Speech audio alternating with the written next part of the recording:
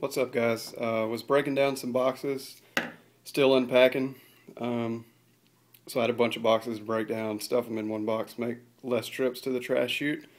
Um, I was sitting here cleaning the adhesive off my blade, and I figured I would show you a quick and easy way to get the adhesive off of your knife without using any man-made chemicals. Um, this is kind of a gross uh, I don't know what you call it, trick, but it is very useful.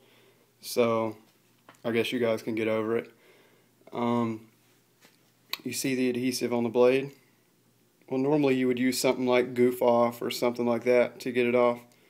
Um, but most of you probably know this, but I'm sure there's some that don't.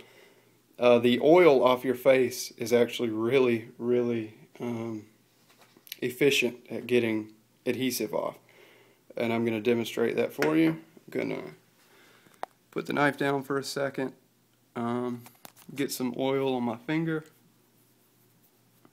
I don't have very much because I just had a shower a few minutes ago, an hour ago, and have oil on my finger and I'm just going to rub and you can see the adhesive just coming off. Um, I don't know why this works, but it works extremely well. You don't even have to have a lot of oil on your finger at all, just a tiny, tiny bit, and you can clean all the adhesive off pretty much instantly. Um, I know everybody's body chemistry is different, but I've never come across a person that wasn't able to do this with the oil on their face. Um, Got to be something in it that cleans the adhesive off. Got to be some kind of component to it that kind of just breaks it down.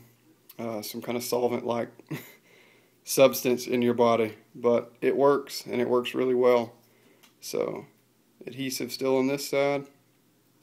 No adhesive on this side. I mean, it literally takes seconds, and you can rub it all away. It's actually more efficient than Goof Off and other adhesive removers. So.